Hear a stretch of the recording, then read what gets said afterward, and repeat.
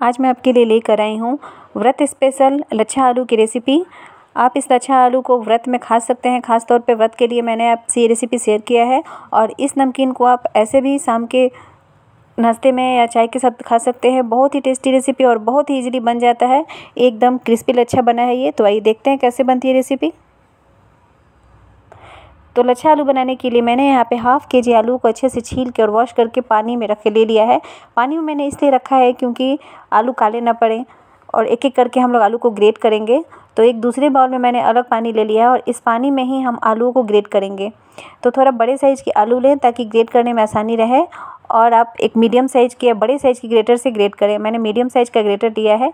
आप चाहें तो बड़े वाले ग्रेटर से भी ग्रेट कर सकते हैं। आपको जितना, अगर बारीक लच्छा चाहिए तो मीडियम साइज़ के ग्रेटर से ग्रेट करें और थोड़ा मोटा लच्छा चाहिए तो बड़े वाले से करें। तो ये देखिए मैंने मीडियम साइज़ का लिया है इसलिए पतले पतले लच्छे मेरे तैयार हो रहे हैं। तो पहले सारे आलूओं को पानी में हम लोग ग्रेट करके ले लेंगे। तो यहाँ पे मैंने सारे आलूओं को ग्रेट कर लिया है, आप लोग देख सकते हैं। और अब हम लोग क्या करेंगे इसे दो से तीन पानी वॉश करेंगे। तो पहले आप लोग देख सकते हैं ये पानी कितना ज़्यादा डट मतलब काला पड़ गया है आलू के ये से जितना स्टार्च है आलू में वो इसमें निकल के आ गया है तो दूसरे बाउल में हम लोग साफ़ पानी लेंगे और उसमें सारा लच्छे को अच्छे से निचोड़ के डालेंगे और ये पानी को हम लोग फेंक देंगे। आप लोग देख सकते हैं, पानी कितना डार्क हो गया है और फिर वापस से क्या करेंगे कि उसी बाउल में साफ़ पानी लेंगे और फिर लच्छे को अच्छे से निचोड़ निचोड़ के इस पानी में डालेंगे। अभी मैं क्या कर रही हूँ कि इसमें से आधे लच्छे को ही इस बाउल में डाल रही हूँ और इसे अच्छे से धो लूँगी और फिर इसको निचोड़ के दूसरे बर्तन में रखूँगी और आधे लच्छे को इसमें धोऊँगी। तो देखिए, आधे लच्छे को मैंने लिया और अच्छे से हम लोग निचोड़ के इसका पानी निकालेंगे। और दोनों लच्छों में से वो पानी जो था, मैं गंदा वाला उसको निकाल दिया है मैंने और एकदम साफ़ पानी में मैंने वापस से रख लिया है लच्छे को। और अब देख सकते हैं, पानी हमारा एकदम साफ़ हो चुका है, यानी तीन बार मैंने धो चुका है और ये चौथा बार लिया है मैंने पानी और अब एकदम पानी भी साफ़ है और आलू भी देख सकते हैं आप लोग। कितने साफ़ दिख रहे हैं, कितने क्लीन दिख रहे हैं हमारे लच्छे। तो इस बार हम लोग बहुत अच्छे से निचोड़ेंगे जितना ज़्यादा इसमें से पानी निकाल सके हम लोग निकाल देंगे। और एक मैंने टॉवल पे रख दिया है लच्छों को और इसे फैला देंगे। तो इसमें से सारे लच्छे हम लोग निकाल के पानी से और निचोड़ लेंगे बढ़िया तरीके से। और ये देखिए फ्रेंड्स पानी हमारा एकदम साफ़ है। तो सेम प्रोसेस है, ये इस वाले बाउल के भी लच्छे को हम लोग निचोड़ के टॉल पे ले लेंगे। देखिए पानी एकदम साफ़ है और आधा मैंने इस बाउल में रखा है। तो पहले क्या करेंगे कि ये जो मैंने लच्छा लिया है टॉवल पे, इसको अच्छे से टॉवल से ऐसे रगड़ के हम लोग पोछेंगे। ऐसा करने से जो भी एक्स्ट्रा वाटर है इसमें, जो भी नमी है हमारे लच्छे में, वो ये टॉवल सोख कर लेगा। तो इससे टॉवल से अच्छे से ऐसे रगड़ रगड़ के पहुँच देंगे और उसके बाद हम लोग क्या करेंगे कि इसे आधे से एक घंटे के लिए पंखे के नीचे रख देंगे, सूखने के लिए। तो पहले टॉवल में अच्छे से पोंछ देती हूँ और ये देखिए, मैंने सुखा दिया है पूरे लच्छे को टॉवल में। हल्का हल्का बस इसमें मॉइस्चर रह गया है। तो एक थाली लेंगे और थाली में अच्छे से लच्छों को फैला देंगे चारों तरफ़। और फैलाने के बाद हम लोग पंखे के नीचे आधे घंटे या एक घंटे के लिए रख देंगे ताकि एकदम ही ड्राई हो जाए। आप धूप में भी इसे रख सकते हैं दस मिनट। तो यहाँ पे सारे लच्छों को मैंने पंखे के नीचे रख दिया था लगभग चालीस मिनट के लिए और ये अच्छे से सूख गए, आप लोग देख सकते हैं। तो अब चलते हैं इन्हें फ्राई करने।